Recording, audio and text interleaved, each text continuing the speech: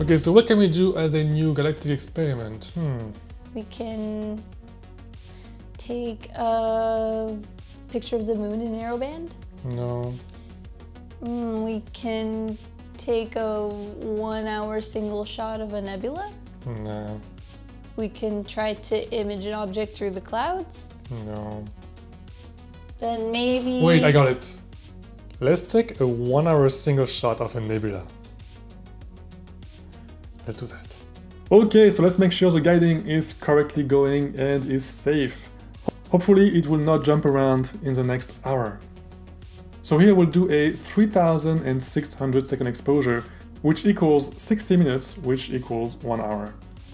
I'm going to select only one shot because I don't think we have the time or patience for 61 1 hour shots.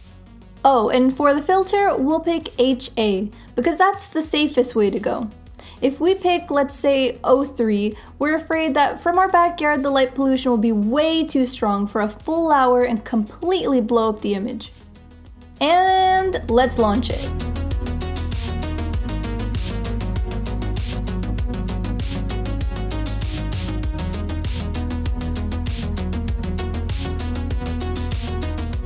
All right, three, two, one.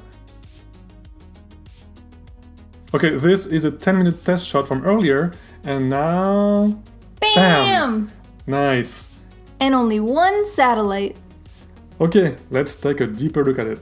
Okay, so as usual in uh, many of our experiments, we are on the computer now and we're going to analyze uh, the image we have um, gotten from the computer. So, uh, as we open the, the image here, which is one hour, so 3600 seconds, um, let's see what happens when we stretch it. Bam! Ah! So first thing, I'm really surprised we only have one uh, plane trail. Uh, I think it's uh, maybe. I think it's satellite trail uh, because Orion, uh, the Orion region usually is full of satellites. So I'm really surprised we only have one, which is great. Hmm, it's really nice to see all the gas uh, really visible here. So usually you, you do about 10 minute exposures uh, max usually on, on most targets. Some people do like 30 minute exposures sometimes.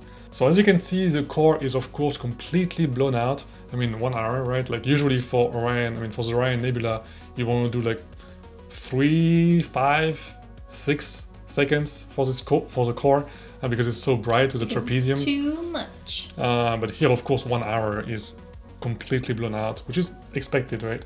Uh, we have uh, M43 here, which looks really nice.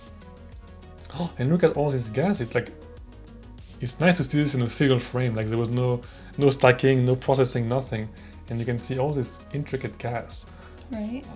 Is there also a reason why we're seeing a lot more of the lightness happening on the right side of this image than on the left side? I mean, over there, the top left is very left. dark.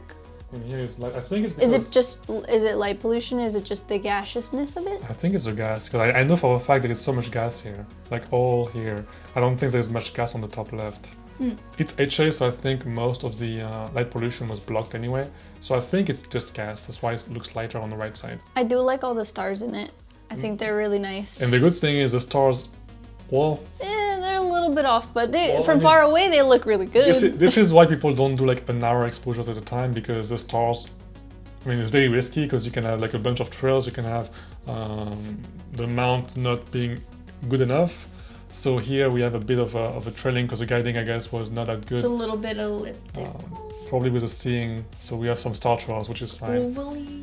Which is why we do we keep it safe and do 10 minute exposures usually on nebulae. I mean, we've talked about the benefits of doing long exposures and short exposures. It really just depends. Uh, but yeah, as you can see, this is uh, a single frame of one hour. It looks great, it looks amazing, but it's I think it's too risky uh, to do that. And I think it depends on cameras too. I mean, some cameras do better uh, with shorter exposures, longer exposures. So, I mean, yeah. for someone, because it's probably a common question to ask, is it really hard to take out the satellite oh yeah, it's super from easy. there? Yeah, that's super easy. People who complain about satellites, uh, they probably don't know that it's super, super simple to remove, so it doesn't matter. Well, actually, Un- actually, with one frame, Unpopular opinion. ac- actually, actually, you need you need at least I think seven or nine frames at least to have a uh, a good way to remove it. Because with, with one frame you can't, because the software will need several frames to compare it to Right. and divi- uh, subtract it from other frames.